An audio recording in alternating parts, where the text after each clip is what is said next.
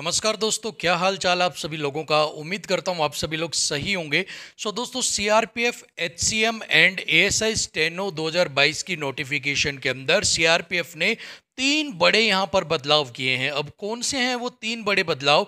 जानेंगे आज की इस वीडियो में। बस आपको करना क्या है? वीडियो को एंड तक देखना है। वीडियो पसंद आई है तो वीडियो को लाइक, शेयर आप कर लेना। चैनल को सब्सक्राइब कर लेना। तो चलिए फटाफट देखते हैं कि कौन से तीन बड़े बदलाव सीआरपीएफ ने CRPF ASI steno and HCM 2022 के नोटिफिकेशन के अंदर किए हैं। तो सबसे पहले तो ये एक जो नोटिस है, जो सीआरपीएफ ने आउट किया उसके बारे में हम देखते हैं।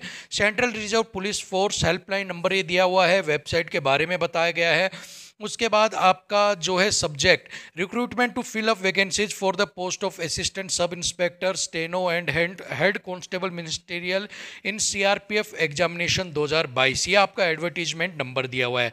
अब हुआ क्या था? यहाँ पर कहते हैं कि हाई कोर्ट की तरफ़ से एक जजमेंट आया, जिसके अंदर आपके तीन या चार बच्चों ने आपका जो लोग हैं, उन्होंने केस किया था या कोई अपील डाली थी, जिसके अंदर उनका जो एज वाला इश्यू था वन टाइम मेजर के अंदर उनको अपर एज लिमिट में उनको कुछ देना था उनको छूट वगैरह, उसके ऊपर उनका कुछ फैसला आया है और उसी की वजह से क्या हुआ है, आपकी जो नोटिफिकेशन है, उसके अंदर बदलाव जो है वो किए गए हैं। तो सबसे पहला तो ये क्लियर हो गया कि हाई कोर्ट की जो डायरेक्शंस आई हैं, उसकी वजह से, उसके बाद से आपके जो नोटिफिकेशन है, उसके अंदर चेंज आपके यहाँ पर किए गए हैं। अब चेंज क्या क्या किए गए हैं, एक बार वो भी देख लेते हैं।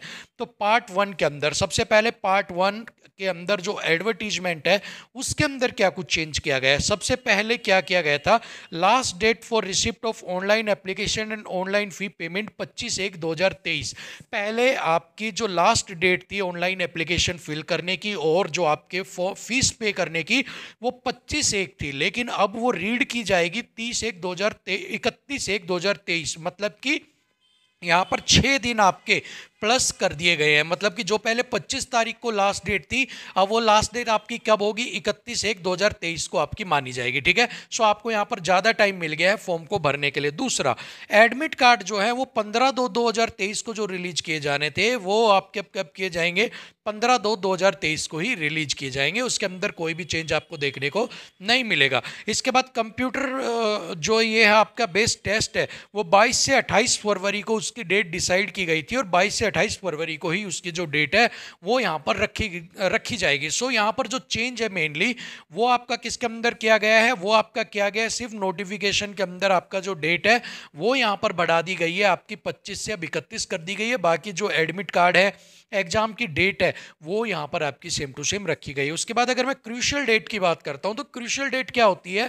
क्रूशल डेट होती है लास्ट डेट किसी भी एप्लीकेशन फॉर्म की। तो पहले जो क्रूशल डेट 25 एक 2023 थी, अब वो एक क्रूशल डेट इकतीस एक दो हज़ार तेईस अब यहाँ पर एक बेनिफिट देखने को मिलता है। अगर आपके कोई डॉक्यूमेंट है मान लो आपकी ओबीसी सर्टिफिकेट है, ठीक है? और वो ओबीसी सर्टिफिकेट आपकी क्रूशल डेट के बाद की मानी है, और आपने वो बनवाई है सत्ताईस तारीख को, ठीक है? आपने सत्ताईस जनवरी को वो बनवाई है। अब आप तो क्रूशल डेट के बाद आपने ये बनवाई है तो आपकी वैलिड नहीं होती, लेकिन अब आपकी जो वैलिड होगी वो इकतीस एक से पहले होनी चाहिए। तो अगर ऐसे में जिसने भी सत्ताईस, अट्ठाईस या उनतीस को भी बनवाई है, या जो बनवाने वाले हैं अभी अपकमिंग उनको यहाँ पर बेनिफिट मिलेगा, क्योंकि उनकी भी क्रूशल डेट से पहले की ही वो सर्टिफिकेट मानी जाएगी। तो ये यहाँ पर एक बेनिफिट आपको देखने को मिला, ठीक है? चलिए, अब पैरा 7.1 के अंदर एज लिमिट के अंदर भी आपका जो कुछ चेंज किया गया है, वो भी एक बार देख लेते हैं। अब यहाँ पर है age limit of candidate should be 1825 year age on closing date of receipt of application 25 एक 2023 that is candidate should not born before 26 एक उन्नीस और आफ्टर 25 एक 2005 तो पहले जो डेट थी आपकी, जो एज थी, वो 18 से 25 साल आपकी जो है 18 से 25 साल आपकी जो है, वो मांगी गई थी, लेकिन लेकिन जैसा कि मैंने पीछे बताया था, केस डाला गया था कि तीन साल का जो है, वो यहाँ पर क्या दिया जाए, उनको रिलैक्सेशन दिया जाए तो केस जीतने की वजह से अब यहाँ पर क्या किया जाएगा, देखिएगा। Age limit of candidate should be 18 से 28 ईयर। जो 25 थी, अब वो 28 मतलब प्लस तीन साल का जो आपका रिलैक्सेशन है, वो यहाँ पर आपको दिया जा रहा है अनरिजर्व कैटेगरी को, ठीक है? तो और अब आपकी कब तक? 31 एक 2023 तक। अब एज क्या होनी चाहिए? आपकी जो उम्र है 18 से 28 साल, वो एक दो उन्नीस से पहले आपका जन्म नहीं हुआ होना चाहिए और 31 एक 2005 से बाद आपका जन्म नहीं हुआ होना चाहिए। इनके बीच में आपकी जो उम्र है, वो 18 से 28 वर्ष जो है आपकी होनी चाहिए, ठीक है? सो जो केस था बेसिकली जिन बच्चों ने डाला था या जिनने भी डाला था, वो यही था कि हमें भी तीन साल की जो अपर लिमिट है, वो जो अनरिजर्व कैटेगरी के लिए उनको वो दी जाए और उसी बेस के ऊपर ये दोबारा से नोटिफिकेशन के छः दिन बढ़ाए हैं ताकि आप सभी लोग जो भी फॉर्म को नहीं भर पाए थे 26 साल वाले 27 साल वाले, वो भी इस फॉर्म को फिल यहाँ पर कर सकते हैं, ठीक है? चलिए, उसके बाद para number ten point three के अंदर जो बदलाव किया गया है, वो किया गया है the application portal will be operate from four one two thousand twenty three to पच्चीस एक दो हज़ार तेईस। तो पहले बताया गया था जो आपका पोर्टल है, वो चार एक, चार जनवरी से पच्चीस जनवरी तक खुला रहेगा। अब बताया जा रहा है कि आपका चार जनवरी दो हज़ार तेईस को खुला था और इकतीस जनवरी दो हज़ार तेईस को रात को ग्यारह बजकर पिचपन मिनट के ऊपर आपका जो है वो यहाँ पर क्लोज किया जाएगा।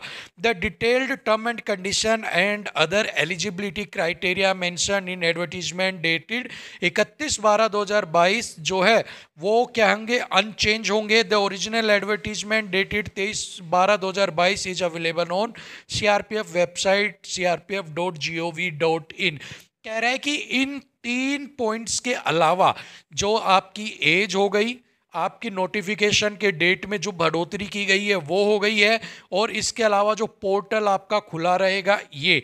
इन तीनों के अलावा कोई भी चेंज नोटिफिकेशन में नहीं किया गया है, वो सेम टू सेम है। सिर्फ़ इन तीन चेंज को यहाँ पर न्यू किया गया है। सो तीन चेंज क्या है? एक बार फटाफट मैं आपको यहाँ पर बता देता हूँ। चलिए, पहला चेंज ये है जो 25 जनवरी आपकी लास्ट तारीख थी, अब वो कितनी हो गई है? 31 जनवरी, ठीक है? दूसरा दूसरा चेंज था 18 से 25 साल के बच्चे फॉर्म भर सकते थे। अब 18 से 28 वर्ष के बच्चे फॉर्म को भर सकते हैं। और तीसरा है, पहले 25 तार 25 जनवरी को रात को 11:55 तक आपका पोर्टल खुलना था। और अब 31 जनवरी तक रात को 11:25 तक आपका जो पोर्टल है, वो फॉर्म भरने के लिए ओपन रहेगा। ठीक है? सो ये चीज़ें हैं जो तीन बदलाव यहाँ पर किए गए हैं। इसके बाद जो भी सारे बदलाव है, वो अनचेंज्ड हैं। कोई भी बदलाव उसके अंदर नहीं किया गया है, ठीक है? सो फ़िलहाल के लिए यही आपके लिए कुछ तीन बड़े बदलाव थे जो सीआरपीएफ ने S I steno and H के एग्ज़ाम में किए हैं। इनके अलावा कोई भी अपडेट जो है या कोई भी बदलाव है, वो यहाँ पर नहीं किया गया है। सो होप सो आपके सारे डाउट क्लियर हो गए होंगे। सो फ़िलहाल के लिए वीडियो में इतना ही। मिलते हैं अगली वीडियो में। तब तक के लिए चैनल को सब्सक्राइब कर लेना। इसी तरह की अपडेट पाने के लिए। थैंक यू सो मच नमस्कार।